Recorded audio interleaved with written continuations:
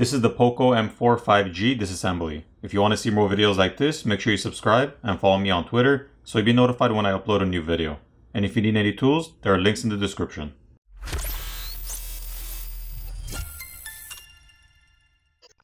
To start off, the SIM tray needs to be removed.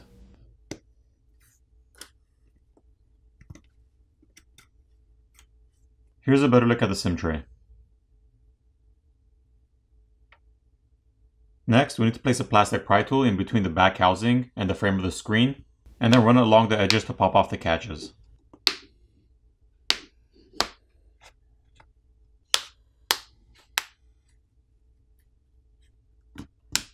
Once you have the back housing loose from the frame, keep in mind there's some adhesive around the camera, so the top portion of the back housing you'll have to lift up to pry off from the frame.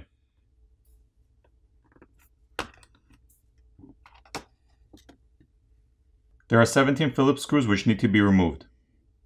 Now the top plastic cover can be lifted up and removed.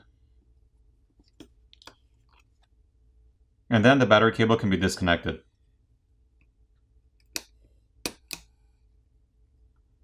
Once the battery cable is disconnected, we can proceed to disconnect the rest of the cables. The back housing is made of plastic. The camera assembly bezel can be replaced by applying heat and gently prying it off. On the other side, there are numerous antenna flex cables around the borders, as well as some graphite film to help transfer heat, and the fingerprint sensor is held to the side with a bracket. The camera lens covers are also held down with some adhesive, so if you needed to replace either of those, you'd have to apply some heat and gently pry them off. The LED flash is located in between them. Taking a look at the other side, there's more graphite film to help transfer heat. There's a white and black coaxial cable which need to be disconnected from the main board by popping them off.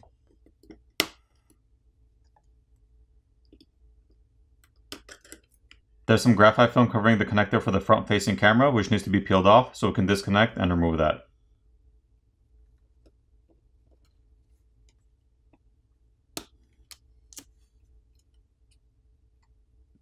Here's a better look at the 8 megapixel front facing camera.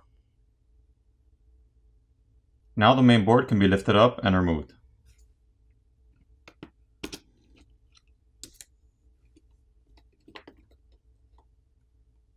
On the main board, there's a 50 megapixel primary camera and a 2 megapixel depth lens. None of the cameras have OIS or optical image stabilization. Also, the camera connectors can be disconnected by popping them off. And there's copper tape on the front shields. The headphone jack is located on the top corner of the board. There's an infrared or IR blaster and the proximity sensor is located on the other top corner.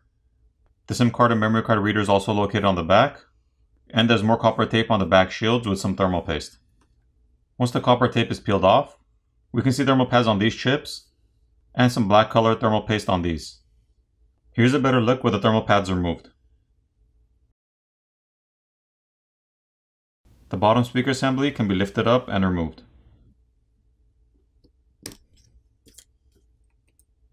Here's a better look at that. And there's a mesh filter over the speaker opening.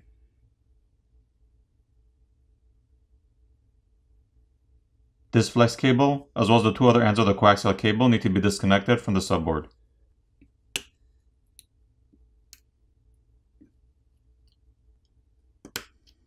And then the subboard can be lifted up and removed.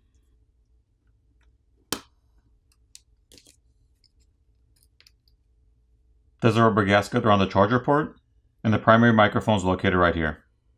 Here's a look at the other side. To remove the battery, there's a pull tab provided to help us pry the battery off.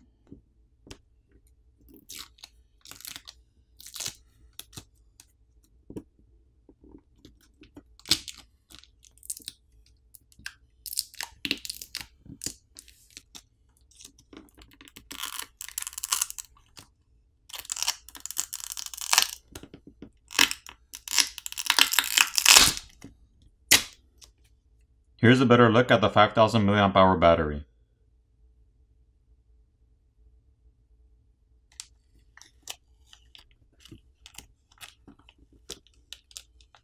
Once the battery adhesive pouch is peeled back, we can see the flex cable for the screen which is routed through an opening in the mid-frame. If you needed to replace the screen, you'd have to remove the back housing, and then remove the screws and remove the top and bottom cover. You'd then disconnect the battery cable and the screen cable, pry the battery and battery adhesive pouch off, Then you would need to disconnect the cables on the bottom and remove the subboard.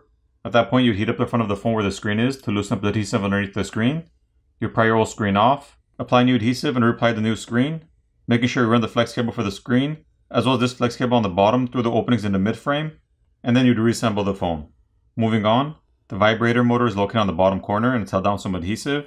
The flex cable for the volume keys and the power button is located on this side. And the earpiece speaker is located on top and that's also held down with some adhesive. For the repairability score, I give this phone a 5.5 out of 10. Now it's time to put the phone back together.